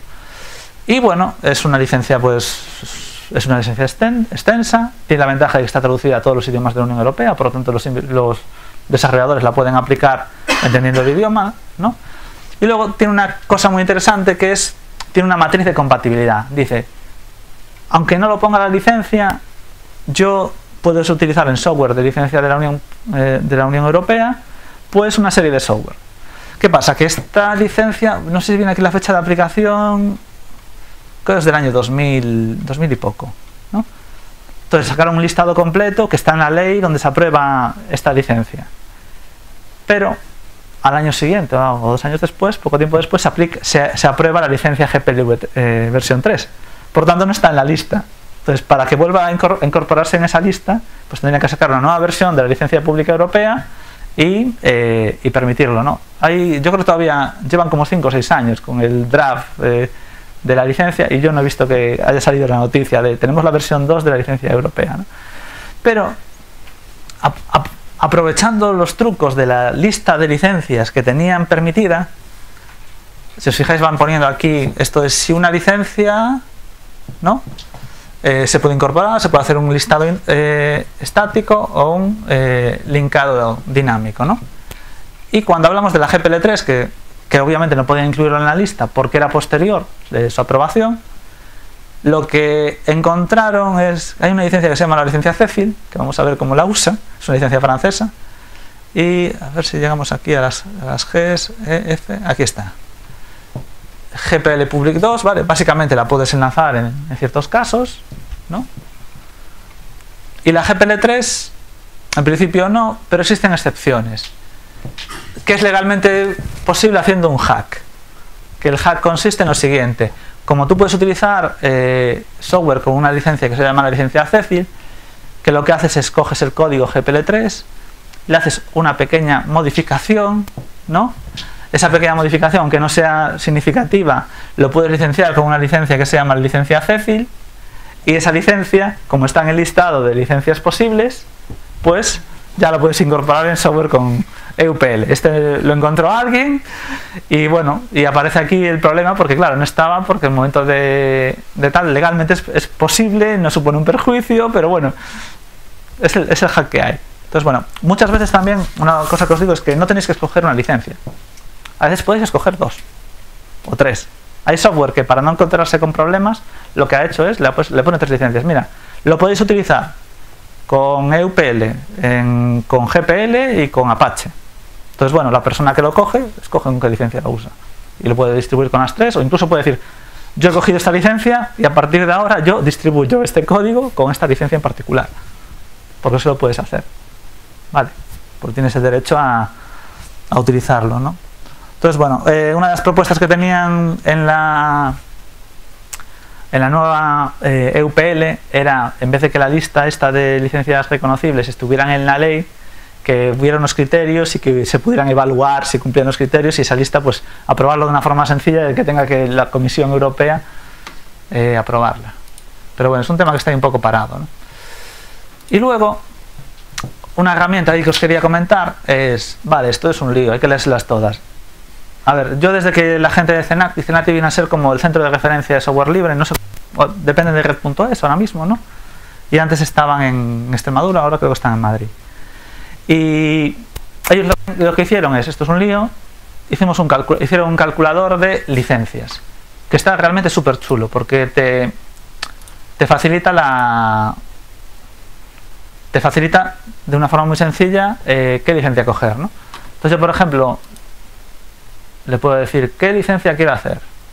Pues mira, me estoy encontrando con que tengo un código que enlazo estáticamente con código MIT, le tengo algo Apache Software License y tengo un enlace dinámico con algo que es GPL3.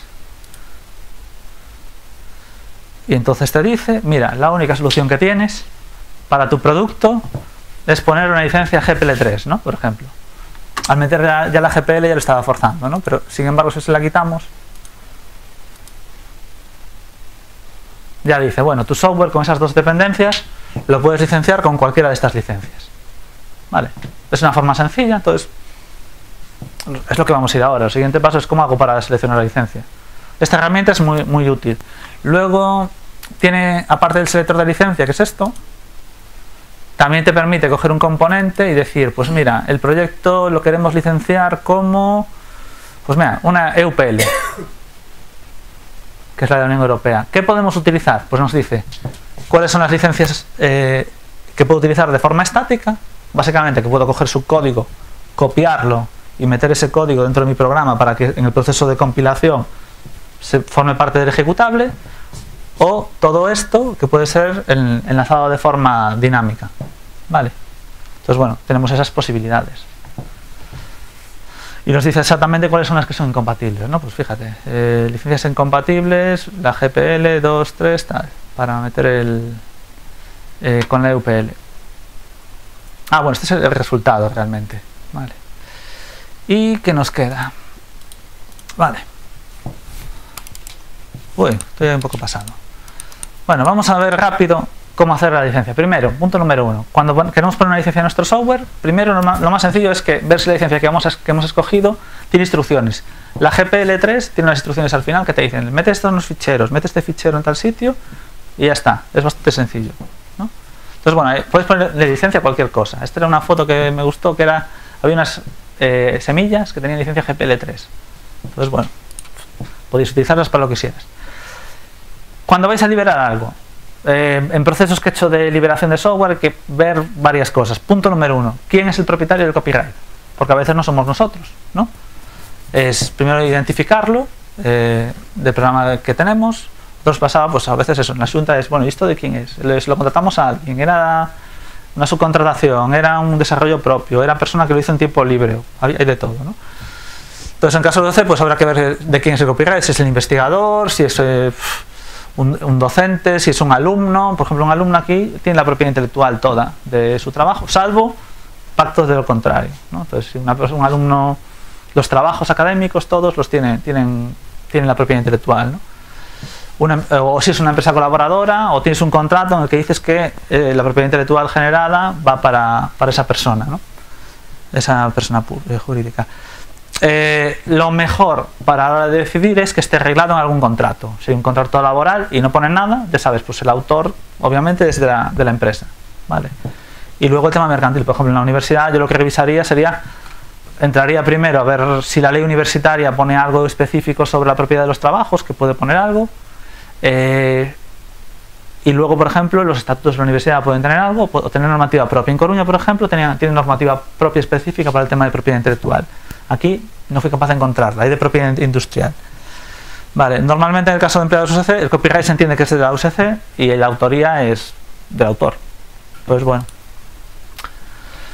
Eh, siguiente punto. Vemos que estamos utilizando nuestro programa, ¿no? Es analizar todas las bibliotecas y dependencias del software a licenciar, ¿no? Es, es lo, muchas veces es lo que nos va a obligar a escoger una licencia. Entonces, ¿qué consiste esto? Pues cada uno de los proyectos que estoy utilizando pues voy viendo, ¿eh? estoy utilizando jQuery, vale, pues tiene pues una licencia MIT.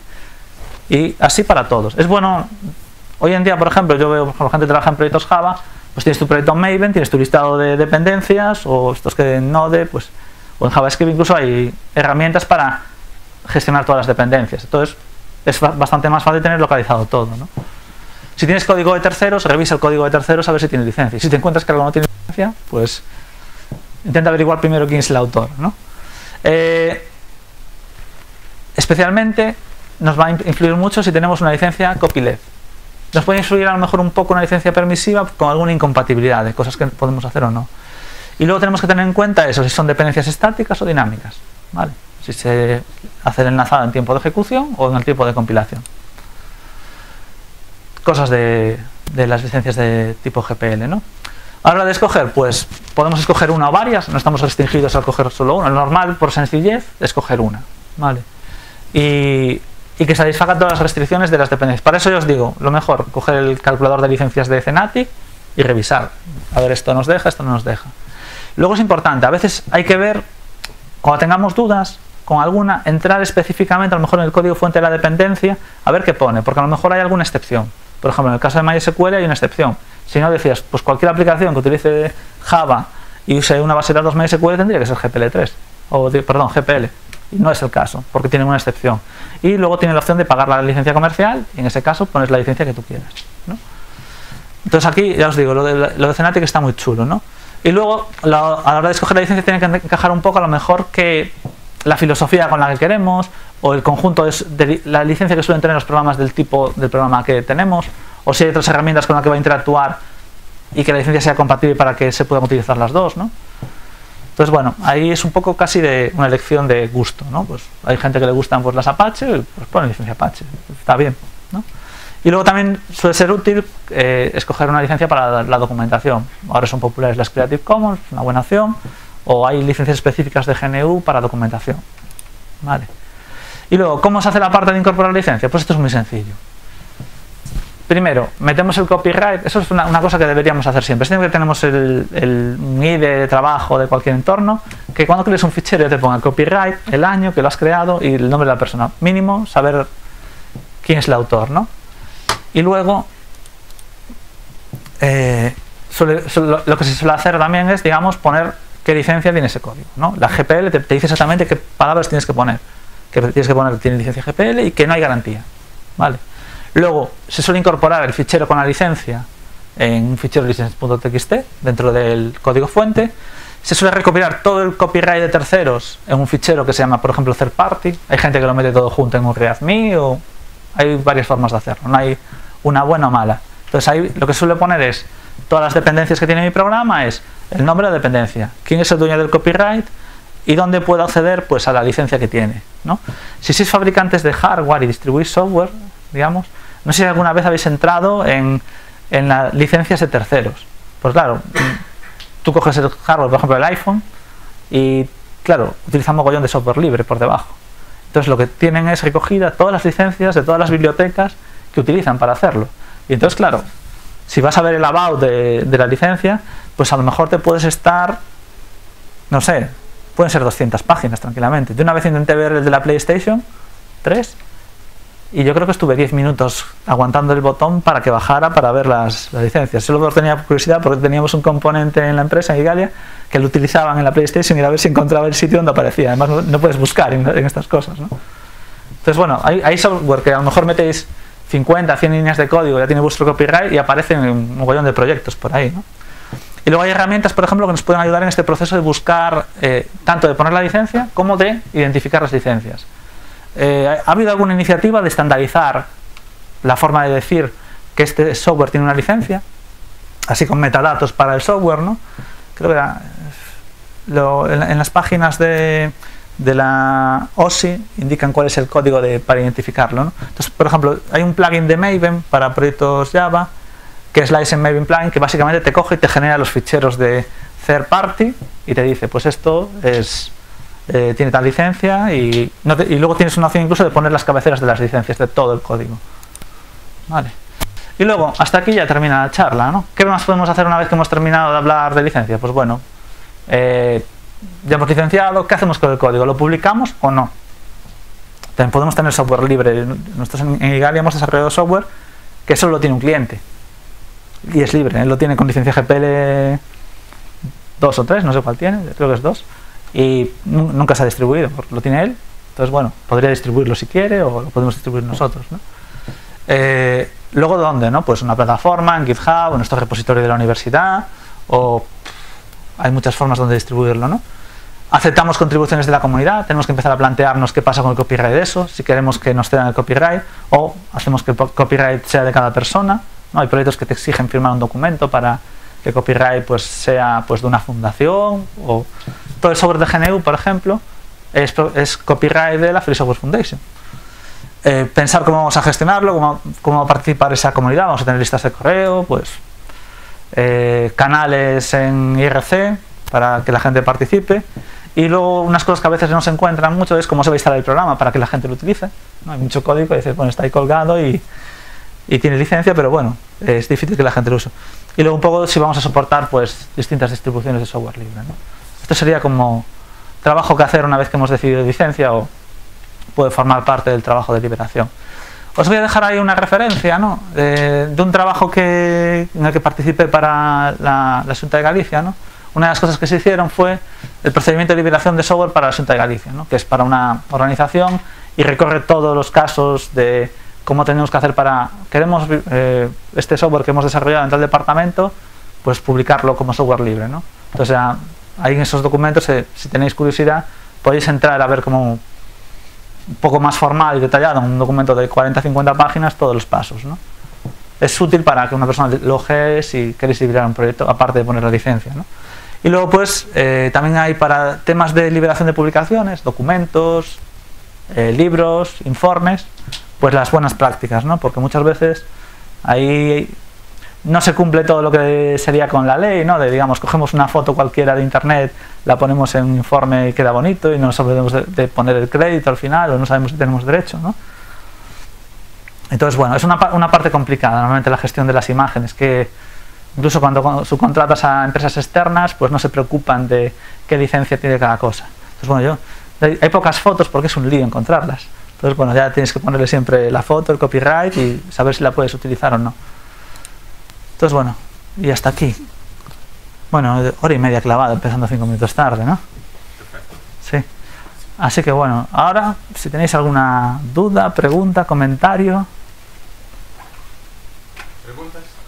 ¿Os habéis dormido demasiado? Algunos ya os habéis visto echar una cabezada ahí. Hola. Vale. Eh, son dos preguntas, pero van sobre lo mismo, más o menos, que es el, digamos, el, eje temporal ¿no? de las licencias. Una es pura curiosidad. Es, eh, los derechos de propiedad intelectual duran hasta 70 años después de la muerte del autor. En este caso, sí, eh, en España. Claro, entonces, si, si el autor viene siendo una empresa, como en el caso de Microsoft, Oracle o tal, que de alguna manera O sea, no, son, no es el autor, es el, son los que Los que detentan te- el copyright, pero los autores serían los empleados, digamos. Sí, pero bueno, ahí probablemente a lo mejor en la obra colectiva ya el copy, casi la autoría es de la empresa, ¿no? Porque es... Que la empresa no muere. Claro, la empresa no muere, pero Entonces, si ¿qué- te fijas en el ese caso... plazo de 70 años? Son desde el, desde el 75 70 años, desde el, el año siguiente de la publicación de forma lícita del software, de ahí en 70 años. Claro, y, pero, pero cuando hablamos de algo tipo eh, un sistema operativo que de alguna manera va cambiando, o sea, tiene una vida, ¿no? Eh, Eh, claro, el problema que tienes ahí es que partes del sistema operativo irán teniendo, expirando el copyright. Entonces tú pro- probablemente el, el sistema operativo original de hace que han pasado 70 años, desde que se publicó por primera vez, ese sí que será dominio público, digamos, desaparece la propiedad intelectual. o sea, eh, que iría, iría desapareciendo, digamos, por decir que no son 70 años, ¿no? Pero Sí. imaginemos el, el Windows 3.0, ¿no? De repente el 3.0 es de dominio público, pero el 3.1 no. Sí. Vale. Sí, eso, eso va, iría pasando así. ¿Qué pasa? Eso, hay cantidad de software que se va a perder por culpa de esa normativa, porque nadie lo, o nadie lo va a conservar o realmente legalmente no lo puedes conservar. ¿no? Que hay, por ejemplo, una, una problemática con el software de, ¿cómo se le llama? El, le llaman abandonware, que son muchos videojuegos de la época de los 80, de 8 bits, que claro, la empresa, el juego a lo mejor está disponible porque alguien tenía el cassette, pero ya sabe, la, la empresa ni existe, no se sabe quién tiene los derechos de propiedad intelectual y claro, está abandonado. Legalmente no lo podrías utilizar, pero bueno, la gente dice, ¿quién me va a reclamar si no sabemos quién, quién tiene esos derechos? Entonces, bueno, ahí las bibliotecas y el archive.org piden una normativa un poco más eh, laxa con ese tipo de pérdida de, de derechos de propiedad intelectual. La, la segunda es, no me ha quedado claro el tema de eh, si tú tienes un software licenciado, con Sí. la licencia que sea, Como usuario, ¿no? eh, no, no, no, eh, o sea, el, Yo licencio. Sí, tú licencias. Eh, tú- eh, puedes cambiar la licencia y en el caso de que puedas cambiarlo, ¿qué efectos tiene para el usuario si estaba usándolo con una licencia distinta? Para el usuario, en el ámbito del software libre, las licencias normalmente en el momento que yo lo recibo con una licencia libre, yo a partir de ahí esa licencia la tengo yo y la puedo utilizar ahí. Yo como persona que tengo los derechos de propiedad intelectual, eh, derechos de explotación, yo puedo licenciar a cada persona con una licencia distinta. Entonces mañana puedo decir, a partir de ahora licencio con esta licencia. Y, ya está. ¿Qué pasa? Si alguien lo tenía con una licencia anterior, pues puede seguir utilizándolo con esa licencia anterior porque la licencia se lo, va a permitir. Eso pasa, por ejemplo, en algunos proyectos de software libre, ya sí ya ha pasado, que es, por ejemplo, eh, salió el, el proyecto tiene licencia GPL2, ¿no? Dos o versiones posteriores. Los desarrolladores en un momento del tiempo deciden, vamos a cambiar a partir de ahora mi software de GPL2 y versiones posteriores, luego decidimos cambiar a, versión GPL3 o posteriores. Entonces, las nuevas versiones del software van a tener siempre esa versión GPL3. Entonces, hay casos, por ejemplo, que, que Apple, ¿no? por ejemplo, eh, tiene bloqueadas versiones de, de, de programas porque cambiaron a GPL3. Entonces, bueno, dices, por ejemplo, en Apple nunca van a tener, creo que era el caso del Bash. La versión de Bash es una versión, pues 2, 2, no sé cuánto. ¿Y por qué no tienen la versión 3? Ah, porque cambiaron los desarrolladores a GPL3 y ellos, pues, aparte, ellos siguen trabajando con el código con la licencia que les interesa. Entonces, bueno, y tú puedes poner las licencias que quieras como propietario. Muchas veces por eso eh, hay entidades que piden el copyright o la cesión de copyright. Porque una decisión en el futuro de cambiar la licencia de un software implica hablar con todos y cada uno de los propietarios del copyright de una obra colectiva. Imagínate una el kernel de Linux que participan 200 personas y que hay gente que ha muerto ya. Y esa gente, los derechos se han transferido a, los herederos. Vete a localizar a los herederos de alguien que tiene 400 líneas de código para decidir cambiar la, la licencia. Es un problema que hay gente que dice eso está bien, porque así se va a mantener la licencia y bueno. Pero hay veces que hay un problema con la licencia y deciden cambiarla. Pues dicen, si lo tiene todo un único propietario, de esa forma, ese puede cambiarlo. Obviamente, cuando tú cedes eso, a lo mejor le dices, siempre y cuando cedes los derechos, que tú mantengas que la licencia va a ser libre. Pues bueno, esos son los Cre- License Agreement, CLAs le llaman. Copyright License Agreement. Ay.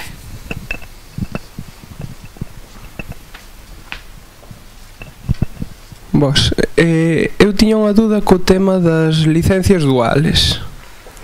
que privativa bueno, e libre. Claro. Sí. Tú licencias, queres que licenciar libre para proxectos non comerciales e privativa para proxectos comerciales. Pero realmente unha vez faz a licencia libre, ti non podes impedirlle a alguén que venda ese software, non? Eh, non, non, non podes impedirle a ninguén. O tema é que depende, normalmente cando esas licencias eh, duais, coas licencias permisivas non se soe facer Vale. Normalmente ese plantexamento é xente que di, mira, se queres facer software libre o que faz, eh, digamos, eu deixete facer o que queiras con a GPL, e se queres facer software comercial, polo menos pasas por caixa, contribúes nalgo, e fas o teu software comercial pagando e douche unha licencia pois para que podas utilizar o teu programa en, sen, ninguna, digamos, sen ninguna restricción e non entregando código fonte. Entón, bueno, é unha forma de saltarte a restricción da, da licencia GPL. Neses casos normalmente soe haber un acordo soe estar o copyright dunha única persoa ou empresa para que poida dar esas dúas licencias. E, claro. no, e, e no caso do software, cando hai aportacións, soen exixir, se queres unha aportación ao teu software, que fagas a cesión do copyright para poder seguir mantendo ese, licencia, ese modelo de doble licenciamento. Claro, pero non entendo como ti podes licenciar con esa doble licencia porque en canto tesa libre, todo o mundo se podería acoller a ela. Ti non podes negar ya... claro, pero normalmente aí te pon a restricción de que o que fagas con ese software sexa libre. Pero, eso pero entón eso é outra licencia que hai por encima das outras, logo? Non, digamos, normalmente nese caso, por exemplo, máis popular era, por exemplo, o caso de, das bibliotecas Qt no seu origen, uh -huh. no? que o que facían era, tiñan licencia comercial de Trolltech, e logo había, daban xa, creo que era a conversión, no final daban con GPL. Entón, claro, eu podo facer calquera software sempre cando sexa GPL con esa biblioteca. Vale, entón, para facer software libre eu non teño que falar con ninguén, o collo, utilizo e xa está. Podo vender o meu software, pero cando vendo o meu software estou obrigado a dar eh, o código fonte.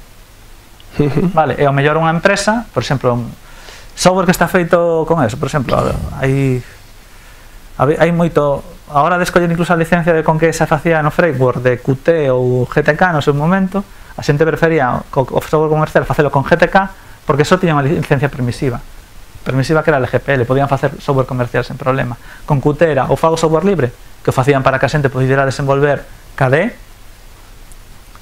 ou pago.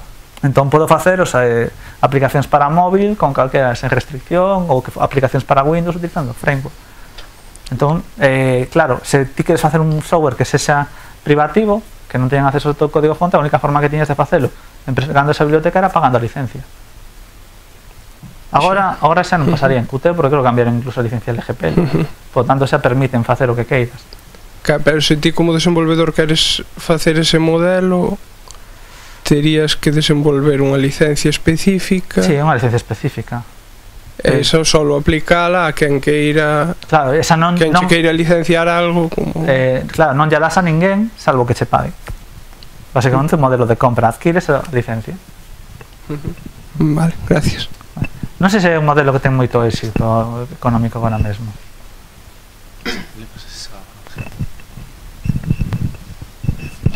Ola, a, a miña dúda iba relacionada con un pouco o que xa se comentou, cando alguén fai unha contribución, por exemplo, nun repositorio público, eh, en GitHub, por exemplo, nun proxecto que xa ten unha licencia, GPL3, sí. por exemplo, esa contribución ten algunha licencia, é dicir, é dunha persoa que en principio non tivo por que dicir a autoría é súa. A ver, norma, eh, normalmente, claro, ti cando contribúes algo, estás contribuindo dicindo que a autoría é túa, ¿no? Hai, hai incluso algunhas eh, nos repositorios, por exemplo, Eh, non sei se habéis visto, por exemplo, no, no kernel de Linux, eh, vas ao repositorio pone signet of, é o nome da persoa, que esa é a persoa que está realmente afirmando que o, a súa contribución vai con, con, a licencia en particular, con esa licencia do, do ficheiro onde mete o código. E moita xente o que fai a veces é se a súa contribución é suficientemente importante, directamente no teu parche metes o copyright. Entón pones copyright, estás aceptando de forma explícita a, a a licencia do código. Aí, por exemplo, hai veces que tamén hai dúbidas de que se considera que xera dereitos de, de copyright, porque mellor un parche dunha línea derivada, digamos. non é non se considera que xera copyright, o mellor un de 10 líneas pois xera copyright, pero mellor un de estou reinventando código aínda que se sean moitas líneas non van xerar nunca dereitos de propiedade intelectual. Aínda que ti vexas que esa persoa foi a que fixe os cambios nese momento. Pero bueno. Está todo recollido no, no, no sistema de control de versiones e como final de todo libre a xente tampouco se preocupa demasiado. Pero bueno, normalmente ti aceptas a licencia que hai e a forma de poñendo ou cando creas un ficheiro novo ti és o responsable de poñer a licencia dese proxecto se envías ese parche e ten unha licencia que é incompatible a persoa o que te debe decir non, non aceptamos esta, esta teño visto revisión de patches simplemente lle din o parche está perfecto pero ponte no copyright que falta. Entón te, introduces e xa está en, en os casos dos sitios onde teñen este acordo de copyright te atopas coa situación de que se non tes asinado o documento xa non te deixan contribuir sí. no documento pois ven a nivel de empresa ou a nivel particular proxectos grandes moitos teñen esa creo por exemplo se queres contribuir ao navegador a Chromium ou a WebKit ou Eu creo que Ubuntu incluso ten tamén Ubuntu pode telo sí. nos, nos proxectos propios Por que? Porque, bueno, queren uh, ter o control de... Ben pode ser por ter o control de como licenciar no, no, no futuro, poder facer proxectos pre, pro, eh, privativos ou, ou simplemente un modelo de para proteger a comunidade.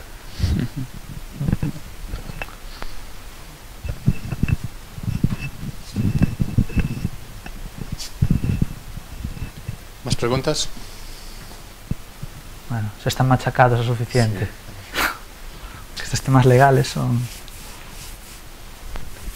Bueno, pues si no hay más preguntas, agradecerte la charla que yo creo que fue súper interesante para nosotros y... Sí, y bueno, poño la licencia ahí da, da presentación. La, así la presentación también. Ah, se me cambió ahí, el copyright. Está aquí con Icaria 2017. Muy bien, gracias. Vale,